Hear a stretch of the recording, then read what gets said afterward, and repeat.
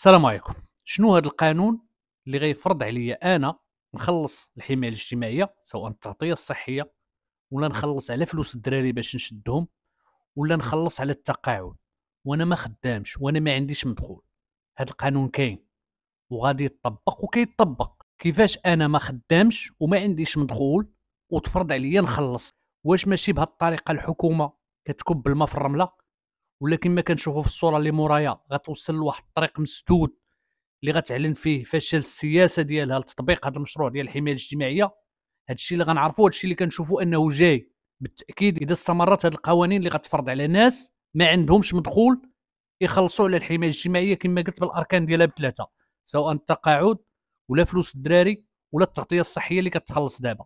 اللي معروف على الحماية الاجتماعية التغطية الصحية كمثال راها كانت من 2005 كانت عند الناس الاجراء والعمال والموظفين سواء في القطاع العام الناس اللي خدامين في الإدارات ولا خدامين مع الدولة كموظفين آه، الناس ديال التعليم آه، الأجراء في القطاع الخاص اللي خدامين في الشركات ولا خدامين عند شي جهة وكديكلاري بهم من 2005 وما عندهم التغطية الصحية. هاد التغطية الصحية كيفاش كتخلص؟ كتخلص على أساس شحال كتدخل شحال ما كتطلع الخلصة ديالك سواء كنتي موظف ولا أجير شحال ما كيطلع النسبة اللي كتخلص وهي في العموم بالنسبة للتغطيه الصحية هي 6.37% إذا واحد كيشد 100000 ريال كيقطعوا له 6000 وشي حاجة من ديك ال 100000 ريال ديال التغطية الصحية. ولكن آجي هذاك الموظف ولا ذاك الآجير في القطاع العام ولا القطاع الخاص ما كيخلصش ديك 6000 كلها.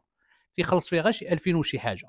الشركة ولا الدولة إلا كان خدام كموظف هي اللي كتخلص عليه 4000 الأخرى. ولكن حنا ما كيهمناش هادشي اللي كيهمنا هو أنه التغطية الصحية على أساس المدخول. فكيفاش دابا كاين ناس سواء من الفئات بجوج اللي غنتكلموا عليهم اليوم الناس اللي خدامين عند راسهم اللي ماشي أجراء ما خدامين عند حتى شي واحد عندهم عمل حر عندهم مهنة ديالهم فلاحة صناع تقليديين تجار سميهم كما بغيتي. هاد الناس تفرض عليهم على أساس واحد المدخول جزافي كل واحد داروا له قالوا له أنت يمكن كتدخل هذا المدخول هذا.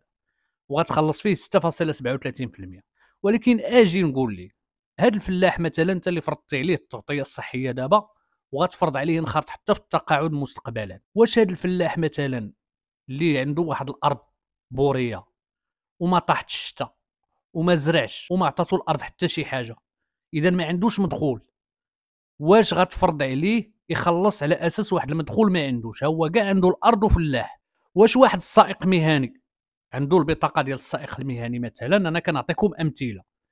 هاد السائق المهني عنده بطاقة السائق المهني وفرضتي عليه خلصت هو واحد 140 ولا 150 درهم. هو كيخدم شيفور ديك البطاقة. خدام في الطاكسي اليوم شهر شهرين حبسوا مول الطاكسي. خرج جالس شهرين ولا ثلاث شهور ما خدامش. ولكن حيت عنده البطاقة كتحسب عليه هذوك الشهور واخا ما كيصورش فيها. اذا كيخلص التغطية الصحية لواحد المدخول ما عندوش. وكتخيروا انت ما بين جوج حوايج. يا إما يمشي يشطب على ديك البطاقة المهنية وبلا بها ما غيلقاش خدمة اللي كيقلب عليها هو جالس شهرين ولا ثلاث شهور يا إما يبقى مخليها ويخلص على شي مدخول ما عندوش لأنه ما خدامش. منين تكلمنا على الأجراء ولا الموظفين؟ إلا وقف واحد الشهر ولا شهرين خرج من الخدمة راه ما كيخلص حتى ريال لأن ما تيتمش التصريح به. الشركة اللي كانت تتصرح به ولا الدولة.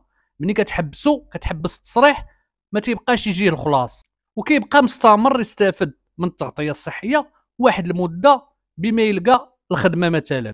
هذا بالنسبة للفئة الأولى كما قلت الناس اللي خدامين عند راسهم راهم غادي يتظلموا خصوصا الناس اللي ما عندهمش واحد الدخل مستقر. مازال كاين اللي عنده واحد المحل تجاري خدام طول العام عنده واحد المدخول مستقر متفق معكم واحد عنده عمل حر مستقر عدول ولا طبيب ولا مهندس ولا محامي هذاك ماشي مشكل عنده عمل مستقر. كنتكلم على الناس اللي ما عندهمش مدخول مستقر. عطيتكم مثال فلاح الا جا الجفاف وما فلحش والأرض ما عطاتو حتى شي حاجة منين غيجيب باش يخلص؟ تكلمنا على السائق المهني عطينا به مثال. تكلمنا على صناع تقليديين تكلمنا على بزاف الفئات ما عندهمش دخل مستقر. ما ضامنش أنه كل شهر يخدم بل كاين منهم اللي شهورة تيحبس ما عندوش مدخول. بالنسبة للفئة الثانية اللي حتى هي عندها الحق تسول شنو هذا القانون اللي غيفرض عليا؟ نخلص وأنا ما فحاليش وأنا ما عنديش وأنا ما خدامش كاع في الأساس. يمكن إلا تكلمنا على الفئة الأولى ديال العمال غير الأجراء ولا الناس اللي خدامين عند راسهم كيخدم ويوقف من حقه يطلب أنه من يكون حابس ما خدامش ما يخلصش التغطية الصحية ويبقى يستافد منها. أما هذه الفئة هذه فهي ما خداماش كاع ما عندها حتى شي مدخول وغيتفرض عليها تخلص على أساس القانون اللي دار دابا ديال 60 22 اللي غيدار على أن أي واحد جا المؤشر طالع وما كيستافدش من أمو التضامن الناس اللي غتخلص عليهم الدولة وهو ما خدامش عند شي جهة باش déclarer به وهو ما خدامش عند راسو باش يخلص على راسو ولكن جاه المؤشر طالع غادي يخلص على أساس هذا القانون 60 22 ومنين تكلم عليه وزير الصحة؟ قال لك هذا دار واحد الفئه قليلة ديال الناس اللي عندهم شي ورث الناس اللي عندهم شي مدخول الناس اللي عندهم شي أملاك الأجانب اللي عايشين في المغرب وما خدامينش حتى هما بغاو يستافدوا الجالية واخا أنا بغيت نعرف هاد الجاليه كيفاش غيديروا يطبقوا عليها التغطيه الصحيه وهي عندها في البلاد فين عايشه على برا. ولكن راه كاين بزاف د الناس دابا كتلقاه ما خدام ما ردام ما عنده ورث ما عنده املاك ما عنده مدخول وجاه المؤشر طالع. واش حتى هاد الناس غتفرض عليهم يخلصوا واخا ما عندهمش مدخول اللي هو الاساس ديال اي خلاص للتغطيه الصحيه. اي خلاص ديال التغطيه الصحيه كيكون على أساس الا عندك شي مدخول كتخلص واحد النسبة منه كانخراط في التغطية الصحية الإجبارية. ما عندكش مدخول راه ضروري خصك تستافد بشكل تضامني كما كيستافدوا دابا الناس اللي كانوا في راميد وتحولوا لأمو التضامن.